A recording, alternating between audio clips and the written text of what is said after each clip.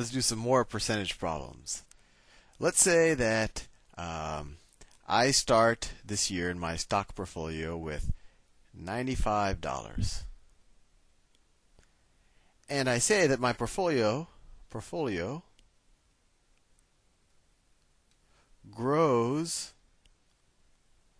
by let's say 15%. How much do I have now?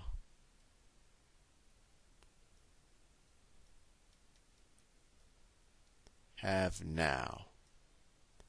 Okay, I think you might be able to figure this out on your own, but of course, we'll, we'll do some example problems just in case it's a little confusing. So I'm starting with $95, and I'll get rid of the dollar sign. We know we're working with dollars. $95, right?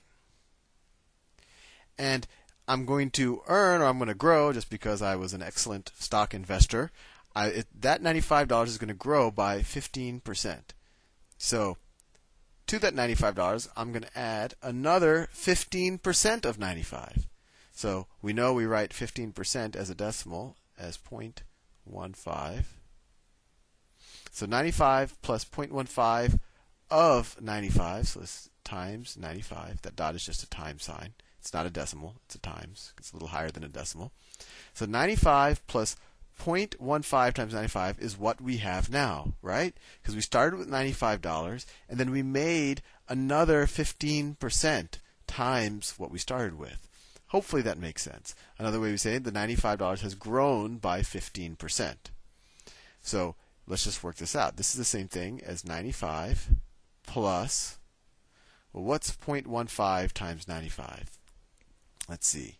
So let me do, hopefully I have enough space here. 95 times 0.15.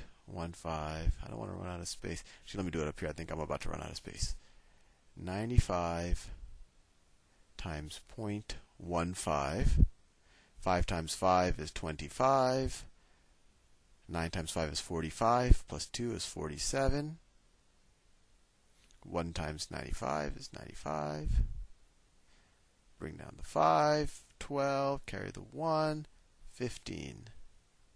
And how many decimals do we have? 1, 2, 15.25. Gee, is that right? I think I made a mistake here. See, 5 times 5 is 25. 5 times 9 is 45. Plus 2 is 47. And we bring a 0 here. That's 95 right? 1 times 5, 1 times 9. And then we add 5 plus 0 is 5. 7 plus 5 is 12. Oh, see, I made a mistake. It's 14.25, not 15.25. So I'll ask you an interesting question. How did I know that, that 15.25 was a mistake? Well, I did a reality check. I said, well, I, I know in my head that 15% of 100 is 15. So 15% of 100 is 15. How can 15% of 95 be more than 15?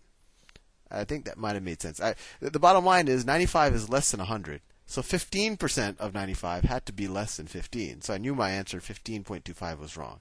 And so it turns out that I actually made an addition error, and the answer is 14.25. So the answer is going to be 95 plus 15% of 95, which is the same thing as 95 plus 14.25. So 95 plus 14.25. Well, that equals what? 109.25.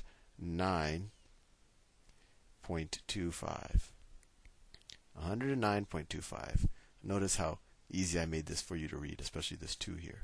109.25. So if I start off with $95 and my portfolio grows, or the amount of money I have grows by 15%, I'll end up with $109 and a quarter. Let's do another problem. Let's say um, I start off with some amount of money, and after a year, let's see, I uh, my my portfolio grows. My portfolio grows 25%. And after after growing 25%, I now have, um, let's say I now have $100. How much did I originally have? Notice, I'm not saying that the $100 is growing by 25%. I'm saying that I start with some amount of money. It grows by 25%, and I end up with $100 after it grew by 25%. To solve this one, we, we might have to break out a little bit of algebra. So let x equal what I start with. What I start with. So just like the last problem, I start with x and it grows by 25%. So x plus 25% of x is equal to 100. And we know this 25% of x we can just rewrite as x plus 0.25 of x is equal to 100. And now actually we have a level, actually this might be a level 3 system, uh, level 3 um, uh, linear equation. But the bottom line, we could just add the coefficients on the x. So here we, x is the same thing as 1x, right? So 1x plus 0.25x, well that's just the same thing as 1 plus 0.25x. We're just doing the distributive property in reverse. Equals 100. And what's what? What's 1 plus 0.25? Yeah, eh, it's easy. It's 1.25. So you say 1.25x is equal to 100. Not too hard. And after you do a lot of these problems, you're going to intuitively say, oh, if some number grows by 25% and it becomes 100, that means that 1.25 times that number is equal to 100. And if, if this doesn't make sense, sit and think about it a little bit. Maybe rewatch the video, and, and, and hopefully it'll over time uh, start to make a lot of sense to you. And this not, this type of math is very very useful. I actually I work at a hedge fund, and I'm doing this type of math in my head day and night. So 1.25 times x is equal to 100. So x would equal 100 divided by 1.25. I just realized you probably don't know what a hedge fund is. I, I, invest in stocks for a living. Anyway, back to the math. So x is equal to 100 divided by 1.25. So let me make uh, some space here, just because I used up too much space. Let me get rid of my little let x statement. Actually, I think we we know what x is and we know how we got to the there. If you forgot how we got there, you can I guess rewatch the video. Let's see. Now let me make the pen thin again. And go back to the orange color.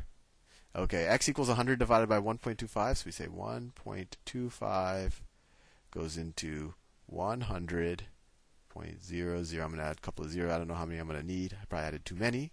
If I move this decimal over 2 to the right, I need to move this one over 2 to the right right?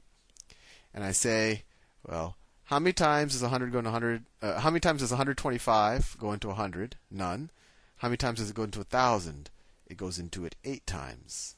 I happen to know that in my head, but you could do trial and error and think about it. Eight times, uh, if you want to think about it, eight times 100 is 800, and then eight times 25 is 200, so it becomes 1,000.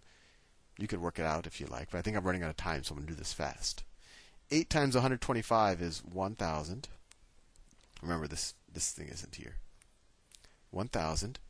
So 1000 minus 1000 is 0. So you can bring down the 0. 125 goes into 0 0 times. And we just keep getting zeros. This is just a decimal division problem. So it turns out that if your portfolio grew by 25% and you ended up with $100, you started with $80. And that makes sense because 25% is roughly one fourth, right? So if I start with $80 and I grow by one fourth, that means I grew by $20 because 25% of 80 is 20. So if I start with 80 and I grow by 20, that gets me to 100. Makes sense. So remember, all you have to say is, well, some number times 1.25, because I'm growing it by 25%, is equal to 100. Don't worry, if you're con- still confused, I'm going to add um, at least one more presentation on a couple of more examples like this.